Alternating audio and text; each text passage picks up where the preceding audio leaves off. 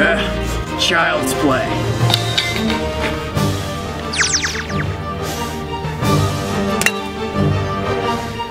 Simbus, you were a fool to come.